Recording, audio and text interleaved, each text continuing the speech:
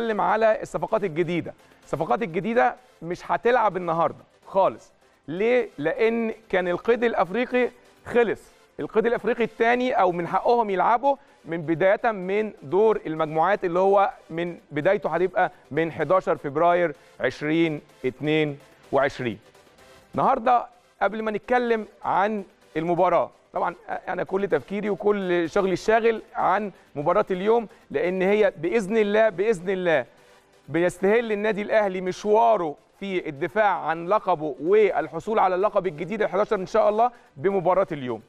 عايز بس أتكلم على حاجة بسيطة قريناها كلنا وشفناها الفترات اللي فاتت أو الأيام اللي فاتت شائعات كتير جدا جدا جدا ومنها تهويل بعض الأمور.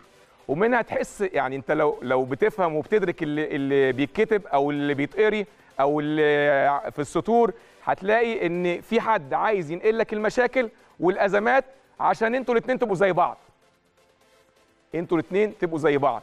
النقطة الأخيرة بقى اللي أنا عايز أبدأ منها لما يكون عندك أزمة وعايز تبعد الناس عنها تقوم مصدر أزمة للخصم أو للمنافس لأن المنافس ده هو الأهلي هو الأشهر والناس بتهتم بادق حاجة فيه.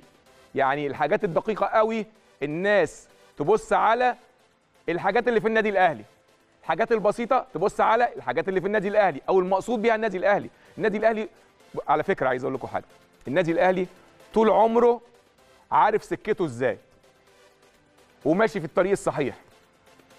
فلما يكون المنافس بتاعك عنده أزمات من كل ناحية بره وجوه وأنت مش عارف تعمل إيه. مش عايز الناس تتكلم عليك لأن الأزمات عمالة تزيد. كل يوم تلاقي أزمة. كل يوم تلاقي أزمة. يوم جاي رامي لك حاجة. أي كلام على النادي الأهلي. وأي كلام على النادي الأهلي بيشد. النادي الأهلي. النادي الأهلي الأشهر الأعظم. فأي كلام على النادي الأهلي الناس تبقى منتبهة. الناس تشدها الكلام عن النادي الأهلي. واللي واللي حصل فيه حتى ولو حاجة بسيطة. خلي بالكم حتى ولو إشاعة. يعني في ناس بتبقى عارفة إن دي إشاعة وبرضه بتهتم تقرأ الإشاعة دي لأن النادي الأهلي زي ما إحنا عارفين أكبر قاعدة جماهيرية في مصر والشرق الأوسط. فاللي يقول لك بقى الفترة اللي فاتت الفترات اللي فاتت كل يوم والتاني. مرة موسيماني عايز شروط ومرة يقول لك آه موسيماني ماشي. ومرة يقول لك أصل الكابتن الخطيب على خلاف مع موسيماني. لجنة التخطيط على خلاف مع موسيماني. آه موسيماني عايز مرتب أكبر من اللي بياخد من اللي بياخده دلوقتي. يقول لك موسيماني مش عارف هيمشي.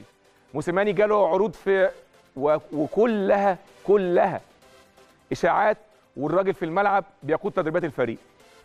كل كل الكلام اللي بيتقال ده حسمته اداره النادي الأهلي. حسمته الإدارة الحكيمة برئاسة الكابتن محمود الخطيب. حسمته بتصريح بس على لسان أمير توفيق مدير التعاقدات بالنادي. اللي قال فيه إن مستر موسيماني مستمر مع الأهلي بنفس الشروط ولا الراجل طلب زيادة ولا حط شروط لأن عقده مستمر مع الأهلي لنهاية الموسم. طالما في تعاقد التعاقد ماشي. والنادي الأهلي مش من نوع ابدا اللي بيخل ببنود التعاقد بتاعته. ابدا. إلا لو في حاجة باتفاق الطرفين. بس بمجرد ما كابتن أمير توفيق قال الكلام ده خلاص كل أبواب الاجتهادات والشائعات اتقفلت خلاص. لأن في ناس كانت عمالة تتكلم عمالة على بطال. كل يوم بتتكلم عن الملف ده وكل يوم اجتهادات وكل يوم شائعات لا حصر لها.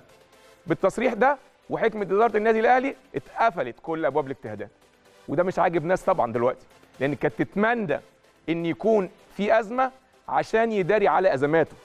اللي بتحيط بيه من كل ناحية لما تيجي تطلع إشاعة بلاش تيجي ناحية الأهلي لأن الأهلي حاجة تانية خالص. الأهلي غير. الأهلي بيحسم كل الملفات بحنكة وحكمة وخبرة وكل واحد عارف دوره إيه في النادي الأهلي. بالظبط يعني ما سمعناش مثلا مثلا. بالظبط زي ما بيحصل في يعني بعض الأندية. تلاقي مثلا النادي بيمر بأزمة تلاقي 50 واحد بيتكلم. 50 واحد بيتكلم. واحد النهارده يطلع يقول لك كذا بكره يطلع حد تاني يقول لك كذا واحد تالت تلاقيه ملوش دور خالص ويروح جاي ناطط وقايل لك كلام تاني. ما سمعناش حاجة خالص ولا من الكابتن الخطيب ولا من أعضاء مجلس الإدارة ولا أي مسؤول في النادي ولا أي مسؤول في النادي. طلع اتكلم في الموضوع دوت. لأن ده النادي الأهلي. وعشان كده النادي الأهلي غير. النادي الأهلي غير. اللي يتكلم هو المسؤول بس عن القضية دي مش كلام وخلاص. مش أي حد يتكلم وخلاص. يتكلم مسؤول التعاقدات. أمير توفيق وقفل كل الاجتهادات قفل كل الأبواب. فبلاش تحاول تداري أزماتك وعايز تصدرها لنادي الأهلي لأنك في الآخر هتتكشف هتتكشف. فإحنا بقى هنلف هنقفل الملف دوت ومش هنتكلم فيه تاني. خلاص بدأنا. موسم من النهارده هنبتديه. وعايز أقول لكم حاجة الموسم ده صعب جدا جدا.